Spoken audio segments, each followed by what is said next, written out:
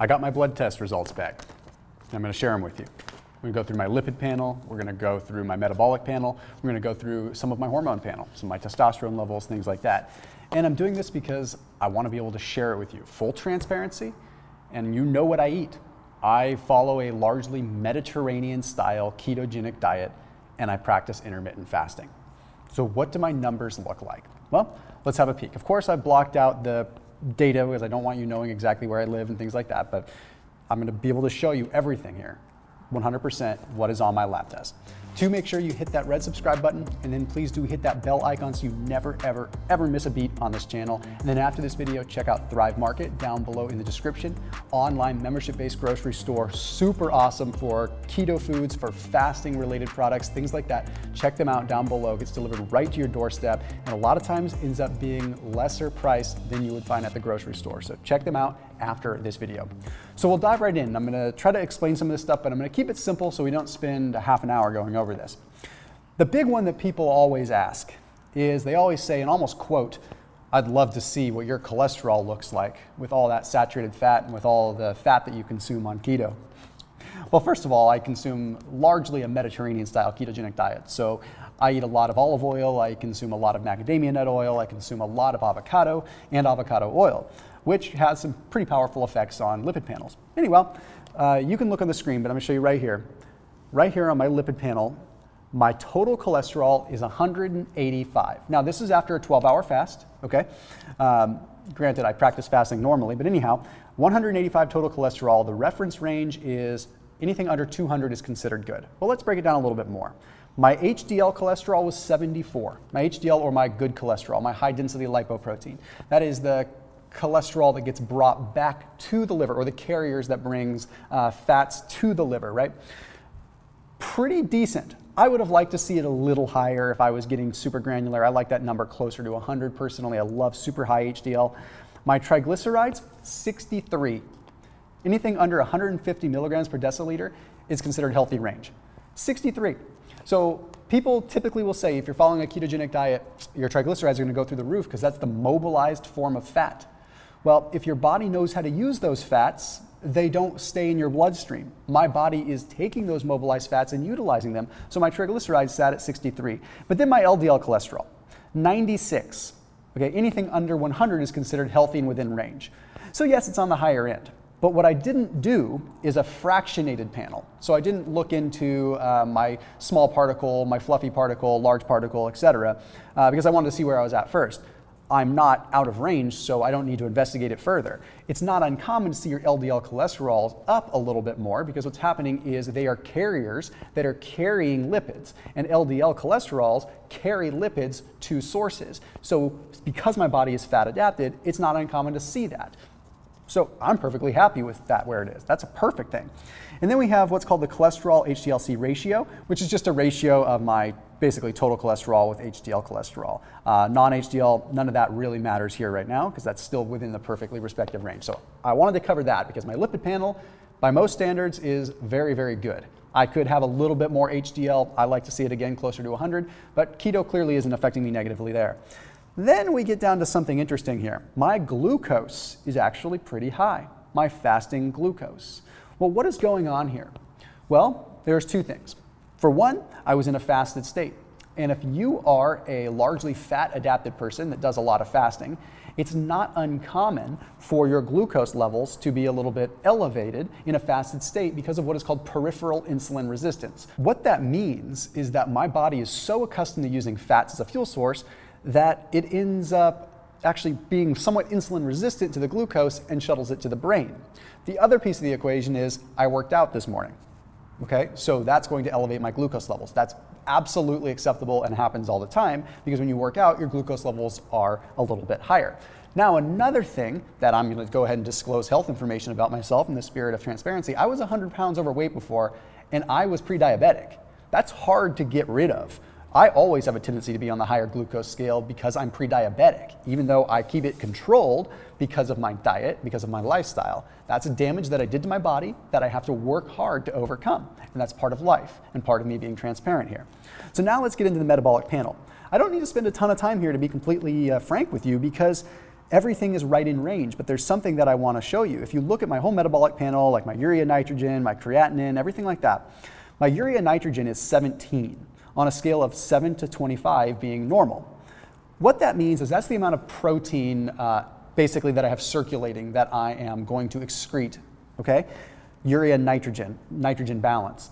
That means that I'm in a good state. I'm in a nice neutral state. I'm not breaking down muscle and I'm not having too much. So what that means is even though I am someone that fasts frequently, I am not breaking down muscle. I'm sparing it, which just further justifies some of the things I talk about, but probably explains why I maintain muscle even when I fast, because I'm staying at this state. So we can kind of rip through here, but a lot of these things are just your overall uh, components of your metabolic panel. If you see any weird red, red flags on there, they would be in bold. Uh, I like that my uric acid is very low, which indicates that even though I consume quite a bit of meat, uh, I don't seem to have any kind of instances of gout or uric acid issues coming to be. I consume a fair bit. I consume between 200 and 300 grams of protein a day and no increase in uric acid there. Okay, moving on down the line. This is some of the stuff that I know people are going to want to see. My T3 levels. Okay, a lot of people say that if you do keto or you fast, your T3 levels are going to be low, your thyroid levels. And that's not uncommon for people. But I've been doing keto for nine or 10 years, and my free T3 available thyroid hormone is right smack dab in the middle of where it should be, a 3.3. Okay, so reference range 2.3 to 4.2, right where I need to be. My T3 or reverse T3, again, right smack in the middle. Reverse T3 is, it's arguable whether it really matters. Okay, when T4 is converted into T3. It's also partially converted into reverse T3, which plays a role in the further uptake and the further conversion. Either way, my reverse T3 is right smack where it needs to be. Now IGF. There's going to be people out there. This video is not created to counter haters or anything like that, but there's plenty of people out there that think that um, growth hormone is at play here.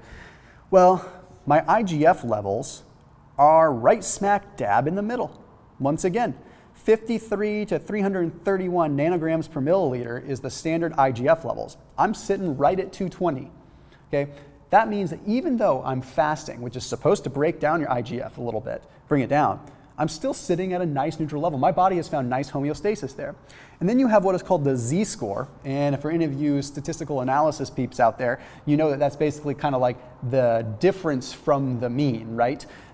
Mathematical statistics, annoying stuff. Um, I'm at a 1.0, which actually tilts me slightly towards, because this takes into the consideration that I'm a male and my age and everything like that.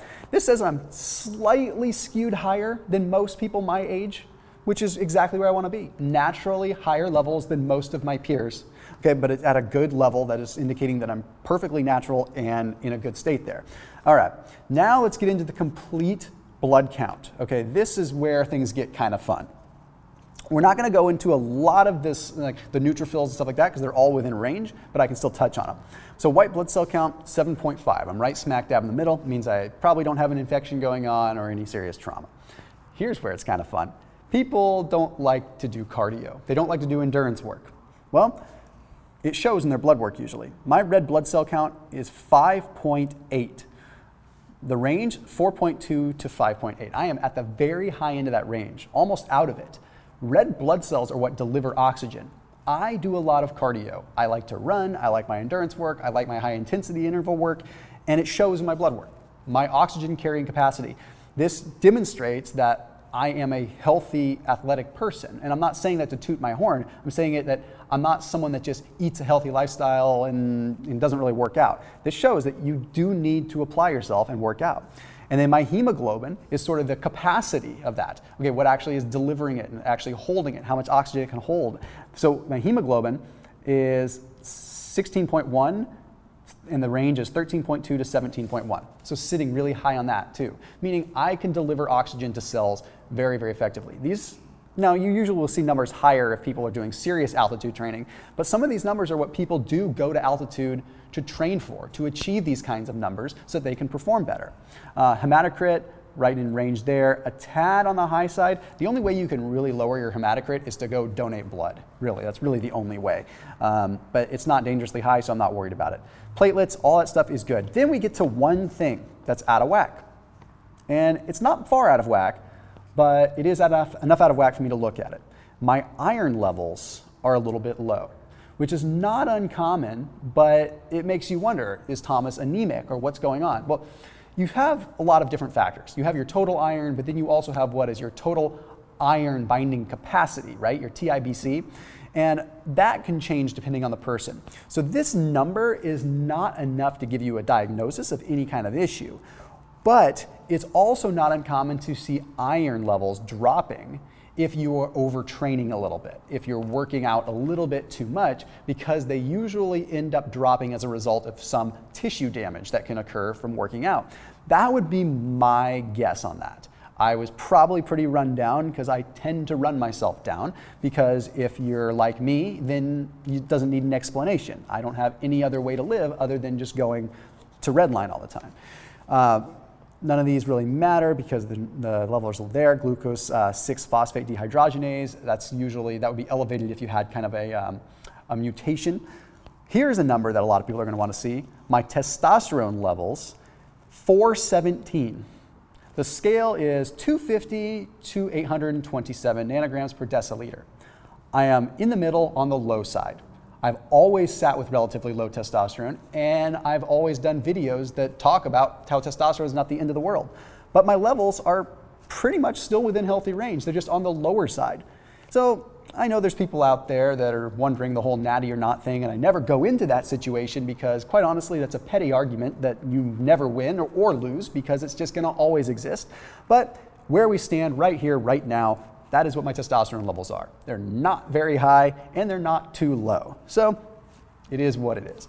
Uh, my PSA, which is going to be related to my prostate, right smack in line. I'm in my 30s, so I don't expect to have a prostate issue just yet, uh, but you should always look at that number. Remember, I'm not a doctor. This is just my stuff. Okay, this one's kind of interesting because this looks at sex hormone binding globulin, which is what binds to your testosterone. So that total testosterone number is what matters if you're looking at just the aggregate. You want to look at your free or available testosterone, right? That's the actual testosterone that has an effect. Well, we didn't look at that. We looked at the sex hormone binding globulin instead because that gives us a more dynamic figure, at least as far as I'm concerned. I want to see how much binding globulin I have. So basically, you have your total testosterone, and this SHBG, sex hormone binding globulin, binds to that testosterone and yields it to be either useless because it's bound to it, and whatever you're left over is what you can actually use. I'm at a 39 with a healthy scale between 10 and 50. So I'm on the high side of sex hormone binding globulin, which means of the testosterone that I have available, uh, or of the testosterone that I have in the bloodstream, not a whole lot of it's available, but not enough to really raise a red flag. Meaning, I'm really sitting on the low end of testosterone. So don't tell my wife, but apparently I have a little bit of low T, and I'm not doing anything to correct it because I don't feel like I need it. I feel good, I feel strong, my libido is good. Who really cares? Then we get into vitamin D, and I'm going to end on this because it's pretty important. Vitamin D is a good indicator of your overall just metabolic health, if you ask me. So many people are deficient in it, and it is a hormone. Vitamin D is not just a vitamin, it's a hormone that dictates so many things and is related to your ability to utilize fat, your ability to utilize visceral fat and get rid of visceral fat. Very powerful and very important for your overall hormone function in general. I am right smack in the middle, actually more so on the high side, uh, 49 with a range of 18 to 72. Then we look at my actual vitamin D3. I'm still sitting at uh, 49. And then we look at vitamin D2, uh, and I'm a little bit on the low side, a little bit on the low of vitamin D2. Well, vitamin D2 can convert into vitamin D3, but vitamin D2 is the direct vitamin D you're getting generally from plant sources. So mushrooms, some olives, things like that. They do convert eventually into D3 through a complicated pathway, but that's not a, that's not a number that I really care about because vitamin D2 just shows me that, dang it, Thomas didn't eat a bunch of mushrooms the last three days. The vitamin D3 is my actual serum levels that I want to pay attention to and is more appropriate for how much sunlight I get, how much good fatty fish I eat, how much oysters and sardines, the things that you all make fun of me for eating, and how much of those I get. But that just gives you a basic guideline. I'm not even supplementing with vitamin D right now because it's summertime and I don't feel the need to, and I base it on my blood work and how I feel. Anyhow, I could do more in-depth stuff, and if you want me to go into detail on a fractionated LDL panel, heck, why not? I'm an open book. I just showed you that I'm pre-diabetic based on this paperwork, right? Although I have a response as to why, and I just gave you some of my medical history. I don't care, I'll share it with you because it's how we all get better. It's how I get better, it's how you get better. So as always, keep it locked in here on my channel. I'll see you tomorrow.